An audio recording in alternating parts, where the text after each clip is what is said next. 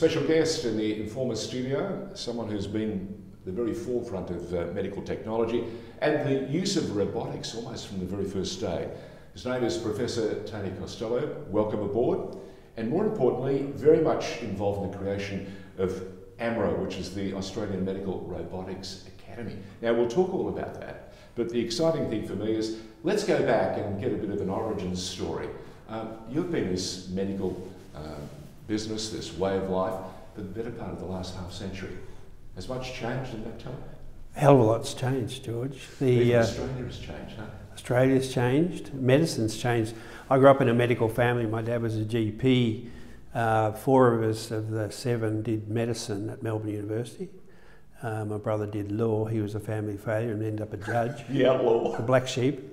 Um, and the others did uh, Melbourne University degrees as well. But uh, we had the uh, general practice in the house, and uh, my father was very much into the value of education, and uh, that was the way out of uh, out of well, not poverty, but hard, mean streets. Really, we grew up in fairly straitened circumstances. Now we should reflect. Your father was one of those unique individuals in that he completed the century. He we're did, up to 100. His, we're not talking about his cricket average, which may well be slightly lower than that because only Bradman was up in those, in those uh, centurion numbers. But your father lived for 100 years, got the letter from the Queen. He did. And was also uh, a baby from the Great War, yes. uh, 1918. So he would have grown up through that uh, horrific time, also the 20s, of course, but he would have been at the, at the beginning of his formative years in, at, uh, when the Great Depression had hit the yep. world and had travelled down under to Australia. D- did he ever talk about those times? Talked about it quite a lot. His father was a policeman who was the son of a potato farmer from Ballarat, Irish, and uh, came to Melbourne, joined the police at 18, and ended up as chief superintendent of the police. He was a smart guy, and had my father when he was really a bit older. It was the Irish way, and uh, so he grew up in a pretty tough environment through the 20s and 30s, and started medical school at Melbourne University at 15. So he matriculated from St Kevin's at 15 and went to the University of Melbourne and did medicine before antibiotics, before anti-tuberculosis therapy, when life was really tough. So, but uh, you know, we, I helped him with the antenatal clinic when I was about six. You know, with all the pregnant women sitting in our front area of the house, and I'd test the urine, you know, on the, on the cooker at the back on the gas cooker. Wow. So I always thought this is fascinating. You know, this is a great. Uh, so you got your entree very early on. Yeah. Just yeah. as I got a, my father wanted me to follow him into in, into the automotive um, uh, engineering and, uh, and uh, uh, motor industry, and I refused. I, I, I, had other aspirations, but it's interesting. You got your first that little interest uh, for medicine very, very early on. Very early. It was very much imprinted. Used to take us up to the university on Sundays to get us out of the house from my mother, give my mother a break, and show us where he went to med school. I thought this is a wonderful institution. You know, Melbourne University was a green belt. It was all lawns and trees and few buildings. When I the relationship between our educators and the students was very different then too, wasn't mm. it? All the professors were. Did you speak up at any stage? Did I speak did up? Did you ever speak up, or did you sit back and uh, attend to it? He was. I was very attentive, and uh, you know, was a very more um, uh, very didactic, uh, very pedagogic, and uh, so that was the way we learned. Uh, things have changed a lot now. Very much so. Technology. Um, before we go any further, I want to, we're, we're, right in the middle of COVID, of course. the lockdown in Victoria has been most severe. Uh, the numbers seem to be changing and turning, and uh, the suggestions are that we will see some opening. But everyone's talking about either living with COVID or waiting for a vaccine. When was the last successful vaccine launched in, in world medicine? Um, well, there wasn't one for HIV, for instance. Correct. And there wasn't one for SARS. I remember as a schoolboy when um, Sabin and Salk for Jonas polio. Salk, yeah. We had uh, boys in my two, a girl and a boy in my grade three class had polio. Mm. So that was revolutionary. So anti uh, vaccines. And that's the 50s, isn't it? Yeah, that was in the mid 50s. Um, one was oral and one was an injection, and Salk and Sabin then we've had so many different vaccines since. I mean, um, measles, mumps, rubella. Um, uh, then there was diphtheria before that. Um, what are the chances of, we, of us finding a, a particular vaccine, a successful one, to combat the, uh, the threat of the, the uh, COVID 19? Oh, I don't have any doubt there'll be a vaccine. I you think thought it'll it be, be in the first quarter of 2021. Uh, yeah, um, you know, whether it's fully effective uh, over the whole co- population cohort or not, but it'll be effective. How effective? And uh, there'll be vaccine. There'll be a number of different vaccines. Well, there's never been as much concentrated effort on vaccine finding as there has been with the weaponry we have in modern medicine. So I, have got great uh, um, optimism that that's going to be a solution or part of a solution. Mm. And I think the history of pandemics, they burn out anyway. You know, the uh, influenza and uh, after the no. First War, yes. burned out. You get herd because immunity. we change our practices too. Well, we? we? do. We change.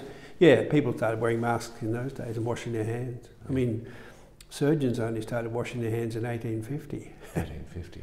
So you were slow to the to, to coming to the uh, decision making as well. Oh. Why are you so recalcitrant? Why are surgeons? Surgeons. well, they weren't doctors; they were apprentices.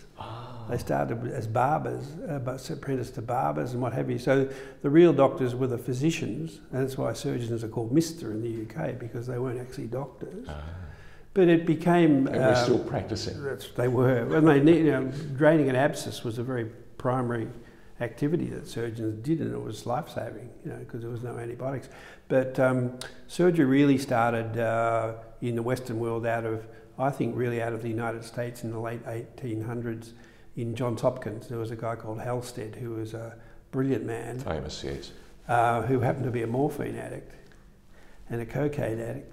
And they did a television series called The Knick, which was loosely based on Halsted. Wow. But it was set in New York.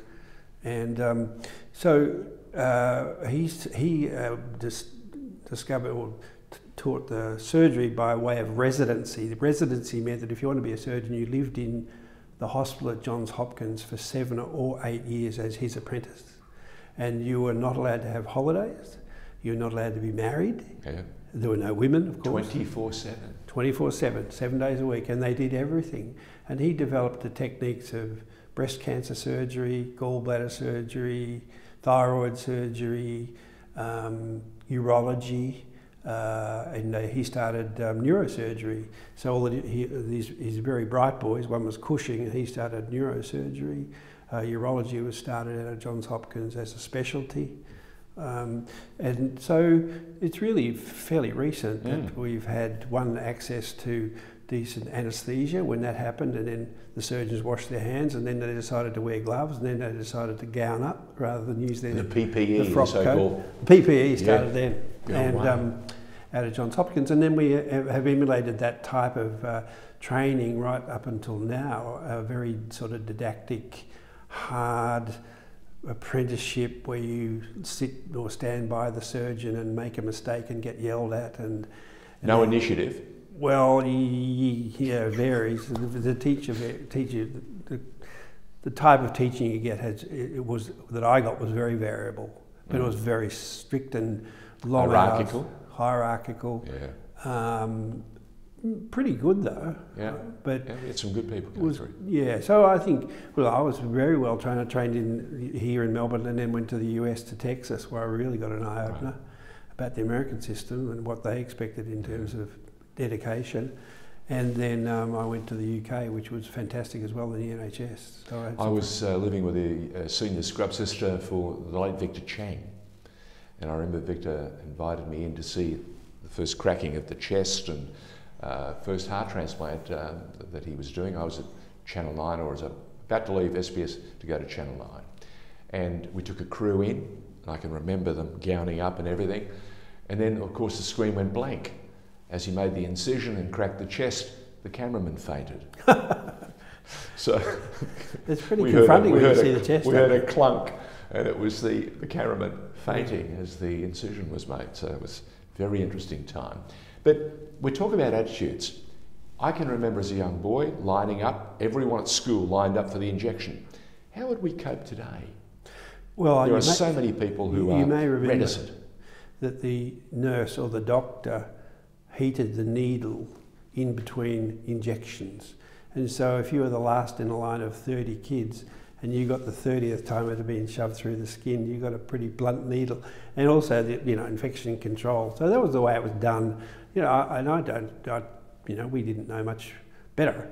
Um, there weren't the, the bloodborne viruses like HIV, which would have been a Correct. problem. Yeah. Or hepatitis. Hepatitis, yeah, yeah, hepatitis, yeah. So when I started as an intern and resident at St Vincent's, uh, we uh, we didn't even we, we did, didn't use PPE. So you put in an IV in someone, you'd let them bleed all over you if, if it happened, or go to an arrest or somebody who was uh, stabbed or whatever. You'd be covered in blood, not Mm. uncommonly. But there were even at that time in the uh, early uh, mid seventies. Um, That's the 70s. yeah, men would, would come in and die mysteriously, what we call the aplastic anemia. I think some of those are early HIV cases. Ah. Uh, and uh, really only came out in the early 80s from San Francisco that what it was virally induced um, hematology Wow. problem. Uh, I've heard that uh, there were people as, as early as the 70s who were dying and of a mystery disease, and not knowing that it was going to be labelled uh, in years to come as HIV. Yeah. So what a journey! What a journey for you. When did robotics start? When, when did you, why robotics? For goodness sake, Okay. are, are are we good enough to do it ourselves? Yeah, well, it's a master slave. So the master is still a surgeon. It's like a pilot in an aeroplane. But so the evolution was up until 1988, 9, uh, we did everything pretty much open. Big, the bigger the incision, the braver the surgeon. Actually, it's the bigger the incision, the braver the patient. Wow. There are no brave surgeons, only brave patients. So there were, we loved doing big, big operations where you had your hands up to the elbows. But, um, and then the, this uh, concept of laparoscopic surgery, which actually had been around for a long time in Germany in the 20s and 30s, uh, just looking inside the belly, for instance. And then uh, someone said, well, if you're looking in, you might as well do something. So some instruments were developed and Mm. then but it's a counterintuitive technology where you actually have to move your hand the, the other way to move the instrument the way you want it to go. And it was hard to suture because you had no depth perception. So it was You had to learn all those things. We'll talk about that in part two of our interview. We're talking to Professor Tony Costello, who's spent the better part of the last 50 years uh, not only as a surgeon, but thinking about ways to improve what he was doing. And uh, we'll tell you all about that in part two of this interview on The Informer.